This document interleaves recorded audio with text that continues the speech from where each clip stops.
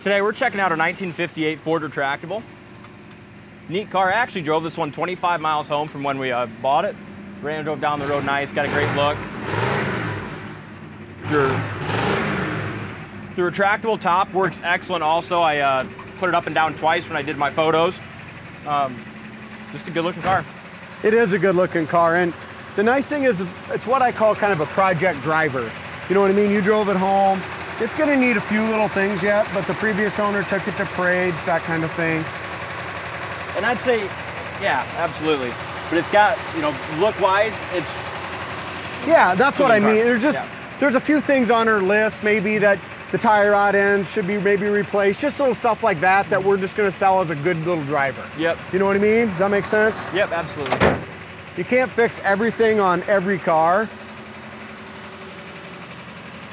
This isn't a great price range though. It is. And that door, he's got to shut it a little harder. There you go. But when I when I went around it and stuff, it's really a good looking car. It All the chromes looks nice on it. And Hood lines up 58s, um, 58s are harder to find too. They're kind of one of the harder years to find. As far as most of the 58s really rusted out over these uh, headlight areas. The grill is super unique as well. Yeah. Uh, front bumper is original. It's got a little scuffs and stuff like that in it, but uh, all in all, it still has a good shine. Yeah. How about this? Isn't this cool? Very cool. Yeah, I love the front ends on these. Love the whole look of these cars. From the you know headlights to the taillights. Just What do you find in one of these? You know, I'll call it tri fives really. Yeah.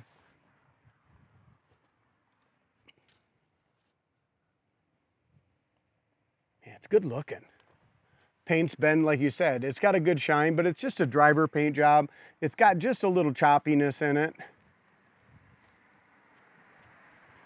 A few little chips over the headlight there. Back of the hood fits good, looks nice. Uh, windshield chrome, it's got some little dings on that on the top. It's also got a couple little slight wiper marks in it. I don't know if that. This little tar there, it looks like. Yeah, I think that'll come off. I didn't see that. Yeah, before. well. Um, as far as our door gaps, really good. Back of the door fits excellent right here to the back of the quarter panel. So many of them are just rotted out in the rocker and lower quarter. This one looks really solid. Of course, it's got the fender skirts on it. They fit well. You can always take them off if you want. All the side chrome's original, so it's got some little tiny little nicks and stuff in it. But all, like you said, you stand back 10 foot, this is an awesome car. Yeah, absolutely. Corner of the door has never been rusted. Um, door panels, interior, all looks really good. How about the padded dash? It's perfect. Yeah, the interior is very nice. I didn't it. even notice it had a padded dash. Um, it's got the intercept special interceptor. So this one is, like I said, it's got the faster engine in it. Power steering works great. That's a nice option. Um, seats are not original. Looks like they've been recovered before, but uh, I'll tell you what, they look great. There's no no rips or tears anywhere in it. The carpet's been replaced as well.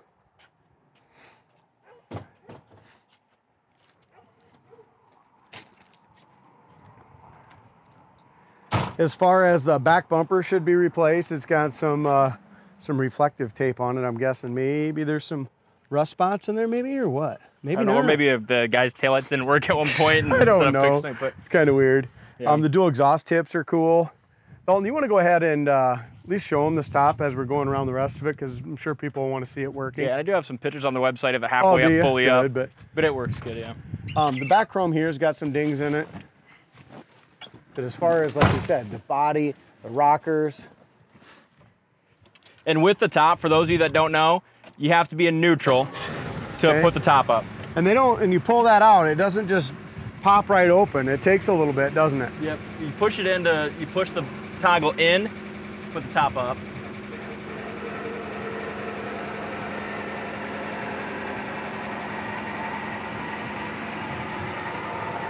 And as you're going through there, I mean, just even the bottom of the um, trunk lid area, that paint looks good. Yeah.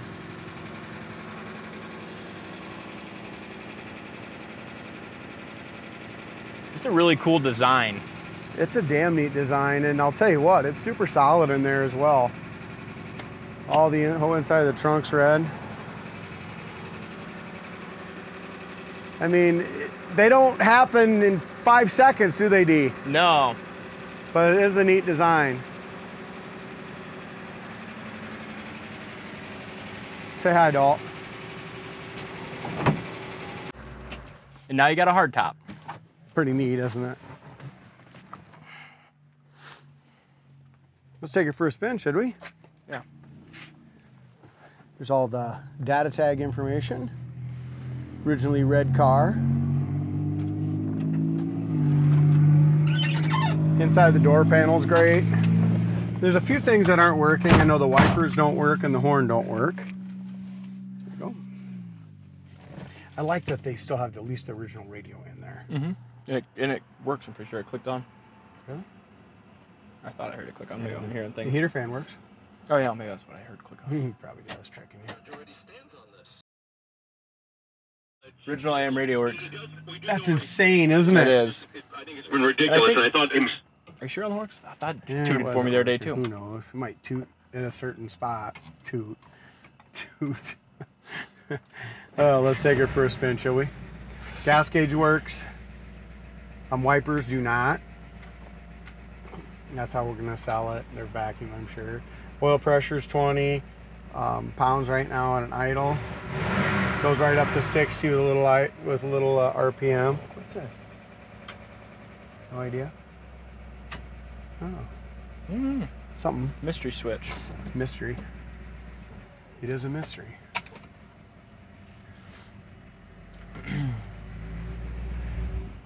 Power steering is the speedometer works as well, but the power steering is so smooth. Mhm. I mean, just like one finger. Yeah, it drove back for me pretty good when I when that was of course before we um, had it in Did our shop, but it. yeah, Yeah. but it drove pretty good for me on the way back from. It's, Uh, it's not from bad at all, Huh. but see how she like you said, just you know, an older restoration. Well, yeah, it's an older restoration, and it's just one of those that we can't make every car a fifty thousand dollar car. Exactly. You know what I mean? Not everyone wants to pay that, so brakes brakes feel good. Mhm. No Yeah. pull left or right. And it idles and runs nice. And the police interceptor's awesome to have in there too.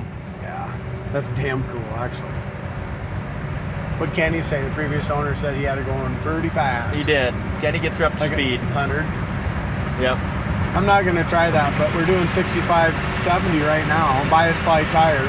And it, it runs pretty damn I can good. see why. Kenny would have her at 100. Yeah, it, it's easy to go there. Like I said, bias Listen by tires and it runs awesome down the road. Steering is perfectly straight, 80 mile an hour right now. Not many, not many 50, 60 year old cars can do what this old thing's doing Look right at now. it. I'm, a, I'm sold. Yeah. And then we're gonna reach mine over was here. on day one. Holy shit, the radio's Been loud and it works. of this shop. Oh, hell So, yeah. In, in Yeah. New York, so I, I'm This car's priced to sell now after I got done driving it. Oh yeah. It's a great Cool. car. Here's your brakes one more time. Let's just hit those. And obviously your drum. But look at that. Damn. This is better job, car than Kenny. this is a better car than you thought it was. A lot better car. Yeah. You had faith in it right away. I of knew course it. you drove it home. Yeah, I drove it home. I knew what she was all about. You wanted to raise the price. I did. So you Oh, guys well. can thank Chad. This is a nice car. Check it out on our site, CoyoteClassics.com. I'll put a link down in the comment section if you're watching on the YouTube. Um, if you enjoy the video, make sure you hit that subscribe button, and uh, we'll see you next time.